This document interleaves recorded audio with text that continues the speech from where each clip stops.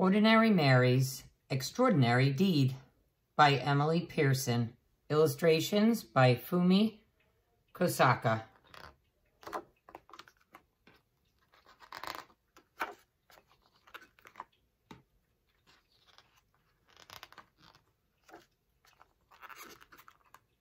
Ordinary Mary was so very ordinary that you'd never guess she could change the world. This ordinary kid? She did. She changed the world. One ordinary day, skipping on her way from her ordinary school to her ordinary house, she passed an ordinary vacant lot filled with ordinary bushes growing ordinary berries. Ordinary blue and juicy, luscious, lovely berries.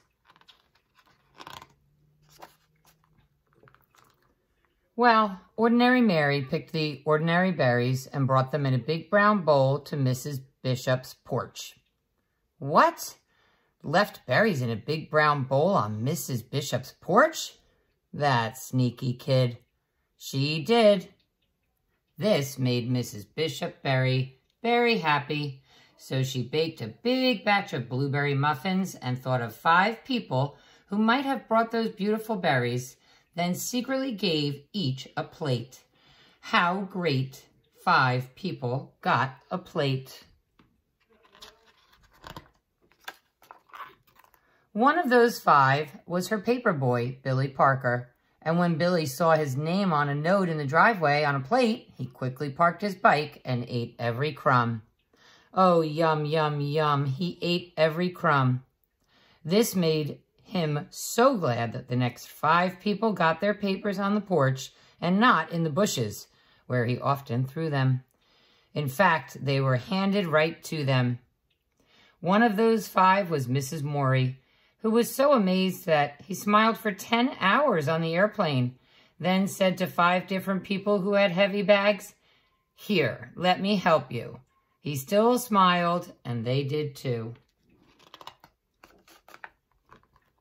One of those five was Mario, whose cranky little boy James stopped crying when Mr. Morey played peekaboo with him until their ride came.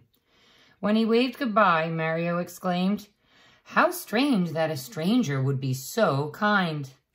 And the next day, when he was out shopping, once, twice, five times he did something nice for five different people. Five times without stopping. One of those five was Joseph, old and bent and gray in front of him in line at the produce stand. When he said, I guess I counted wrong. I don't really need these oranges. Little James reached out to him with an orange from their basket and Mario put a coin in Joseph's hand and said, Here, take this. The oranges are on us. As Joseph shuffled to the bus, his heart was full and his eyes were wet and his hands did helpful things for the next five people he met. One of those five was Sarah, a college girl who was off to see the world and stopped at Joseph's shop. When her bag broke and her things fell all over the floor, she said, Oh, what will I do? Joseph said, This is for you.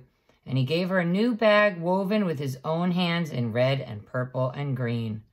Oh, thank you, she said. It's the loveliest bag I've ever seen. When Sahara left, she felt sunny as noon, and she just had to shine on five people soon. One of those five was Sophia, whom she met on a boat, looking like the world might end, looking like someone without a friend. What beautiful blue eyes you have, Sahara said. And they're just the color of the flowers in your lovely dress. Yes, said Sophia. Oh, yes, said Sahara. The beautiful blue eyes shed a happy tear, and when the boat trip was through, Sophia called five people to make them happy too. One of those five was Tom, her son the doctor, who was having a very hard day. Hi, he said. I love you, Tom. Well, how great to hear your voice, he sighed. I always need my mom. Dr. Tom was so cheered up that on his next break, he bought a big bunch of bright balloons for five young patients, and he handed, them out right then and there. One of those five was Peter, a little boy who went home from the hospital that very day. Gratitude for the big bunch of bright balloons filled him and thrilled him and spilled out of him and on to the next five people who came his way. One of those was Eric, a teenage boy whose sacks and such were way too much. When one dropped on the sidewalk, Peter stopped his play and rushed right over, saying, Super Wheels to the rescue! Well, Eric, no longer stressed, was very impressed and made a mental note that very afternoon to help five people and do it soon. One of those five was Di, his 10-year-old sister who didn't have many friends and was painfully shy. When Eric said, hey sis, want to come to the park and learn how to ride my skateboard? She looked at him wide-eyed. Serious? she cried. Sure, he said. And because of her brother, Di decided maybe she could be a friend to another five others. One of those five was Louise, a homeless woman who lived under the trees. She could hardly believe her ears when she heard Di say, May my brother and I buy you a hot dog and a drink at that stand over there? Could it be true? Someone actually cared? Cared enough to give her food and a smiley-faced ring that was practically new? Louise was so pleased that she decided that even though she had nothing, she would find five others and give them something. One of those five was Amara, who lost her wallet in the park. Louise found it, full of fives and tens and twenties. Oh, what she could do with all that money. But she found Amara's name and called her home, and over she came. Amara was so impressed that Louise was honest when money was something she clearly needed that she offered her a job in her store and vowed to do something generous for five people or more. One of those five was Kate, a woman on vacation who wanted to see a show she'd heard was a sensation. Oh no, she said, it's sold out, but I'm going home tomorrow, and her face filled with sorrow. Amara held out her ticket. I live here, she said. I can go anytime. Take mine. Kate loved the show and was so touched that she thought buying five presents for five people back home would really be fun. And one of those five presents was a little heart necklace for Mary, her niece. And you would have seen her eyes light up in surprise. Mary. What? Ordinary Mary? Yes, Ordinary Mary's extraordinary deed had come full circle, and on its way it had changed the lives of every person living. You see, when Mrs. Bishop made muffins from Mary's blueberries, not only the paper boy, Billy Parker, but the other four people too, made five people smile, and those five did too.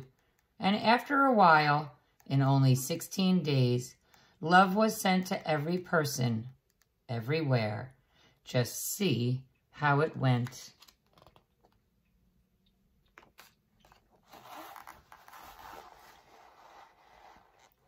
1, 5, 25, 125, 625, 3,125, 15,625, 78,125, 390,625, 1,953,125, 9,765,625, 48,828,125, 244,140,625, one billion two hundred twenty million seven hundred three thousand one hundred twenty five six billion one hundred three million five hundred fifteen thousand six hundred twenty five thirty billion five hundred seventeen million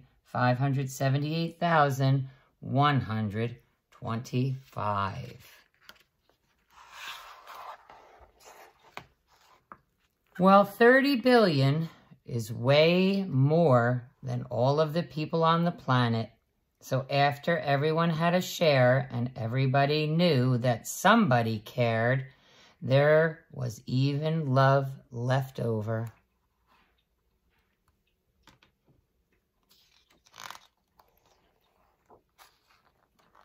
The world was changed, and thousands and millions and billions agreed. It was all because one ordinary day, Ordinary Mary did a perfectly ordinary, stunningly earth-shaking, totally extraordinary deed.